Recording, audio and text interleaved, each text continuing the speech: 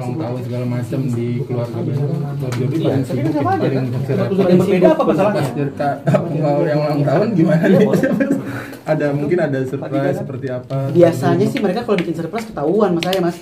Biasanya. Jadi menurut saya balas ah gitu. Ya kalau kalau enggak saya bilang surprise dong. Jangan pakai diem-diem, mendingan kumpul-kumpul aja sini gitu. Anaknya anaknya nggak mau dikerjain jadi langsung kumpulin orang-orang aja. keponakan keponakan ngucapin nama. keponakan keponakan ngucapin Yo, dia. Sinyo. siap siap siap bela bulu. Glenn. Glenn. Gue lagi wawancara nih Glenn. Yang pertama ngucapin siapa Kak Jody? Ah, nungguin Mas Glenn. Udah Glenn, ntar nanya lagi. Jalan. Bang, Bang Minola mah gak ke mana-mana. Iya. Kok Jody ini sibuk. Paham Dora. dong. Ini sibuk nih. Bercanda.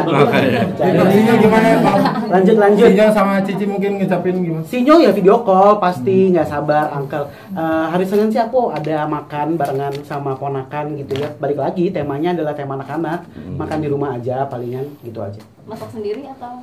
Enggak. makan geprek juga Justru kalau masak sendiri itu Talia udah udah ada requestnya. Korban itu pasti kalau datang dia minta dibuatin sop buntut, Ciwenda itu dibuatin geprek dengan berbagai macam sambal, Talia itu sukanya cilok, dia lagi suka cilok keju bang. Oh. Bilangnya cheese ball, terus onyo itu dengan makanan sehatnya tidak ada minyak, tidak menggunakan MSG gitu ya.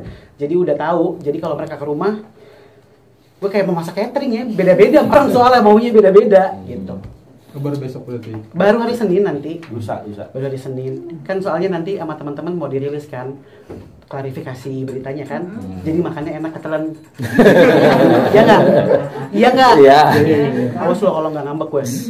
Dia usia 27 eh 27 27. 27 ini apa kayaknya banyak banget nih nggak apa me- eh, nangani hal-hal seperti ini. Itu apa sih yang Asam garam kehidupan Hmm. asam garam kehidupan. Ya seneng sih. Mungkin kalau orang bilang matang sebelum waktunya.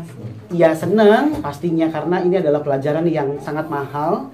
Kemudian tidak bisa kita dapati di sekolah. Ini semua didapati dengan adanya pembelajaran dari Bang Minola juga sebagai kuasa hukum Koruben sebagai kakak terus seluruh karyawan tim jadi eh, menanggapi ini selalu melihat sisi positifnya. Pun pada saat mendengar berita ini, kita teleponan, bang kita tenang dulu, kita lihat sisi positifnya. Oh berarti ini saatnya kita menceritakan apa yang sebenarnya. Selama ini kan kita diem-diem aja loh, punya Sertifikat. sertifikat dan lain-lain. Berarti ini sisi positifnya ya. Kita harus bukan mempamerkan, tapi menunjukkan sebenarnya kita udah punya nih gitu. Jor, sudah dapat pelajaran hidup kayak begini-gini. Terus kapan mau ngejalanin hidup nikah rumah ya tangga? nikah. Nah kan. Enggak nggak mau jawab. Gue bingung jawabnya bang jawabin dong Kok, kok diwakilin? Ini kan masalah hukum loh. nantilah nantilah. Tanyain keponakan dulu aja angkelnya Nah. boleh sama yang gimana. Oh gitu. iya karena kan targetnya gini. Hmm. sekarang angkel ngurusin Onyo Talia Tania. Nanti angkel punya anak angkel titipin balik bang ke dia. Ngurusin ponakan lo gitu. Gantian. Dulu lu baik gue ngurusin.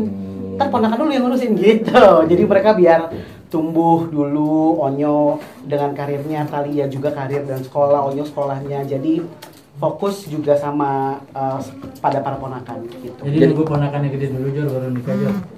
Nggak ada. Nah, ayo, ayo.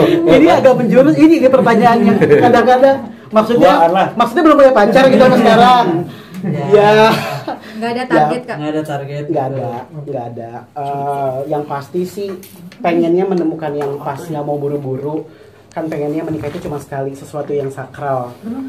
Yang di mana ketika sudah memilih sebagai pasangan baik buruk bibit bebot kita bibit bebet bobot kita sudah sudah tahu pasti. Jadi nggak mau buru-buru. Kalaupun ada pacar ya penjajakan dulu aja gitu.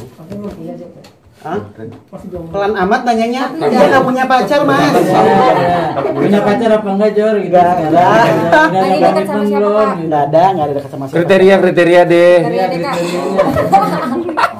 doyan pedas kayaknya kuat ngulek kali ya. Kalau nggak ada karyawan kita ngulek. Oh dulu gua ngulek sampai pada bedis lu tangan. Jadi ya ya bercanda bercanda tapi nggak ada kriteria khusus. Yang pasti sayang bukan hanya sama aku tapi sama keluarga. Karena kan aku sadar gitu ya pernikahan itu kan bukan tentang dua orang tapi dua keluarga. Di mana ketika pernikahan sakral itu sudah terjadi dua keluarga menjadi satu jadi aku perlu tahu keluarganya sayang juga sama keluarga aku apa enggak. Ada di jodoh-jodohin nggak sih kok? Ruben? Ada ntar dia jodohin sama A tiba-tiba eh jangan deh jangan deh nggak jadi nggak jadi. Gua ada tahu dia begini gitu misalkan. Dia adalah papa mama yang yang ngejagain banget. Dibilang lu tuh bontot tau nggak? Lu udah udah harta yang terpendam. Jadi lu kalau misalkan ada pacar hmm, lewatin gua dulu layer pertama. Waduh. Waduh ribet. Ah, gitu. Apalagi? Oke. Oke. You, Ko. terima kasih ya teman-teman semuanya Selamat ulang tahun ya, Ko. ya mohon bantuannya ya semuanya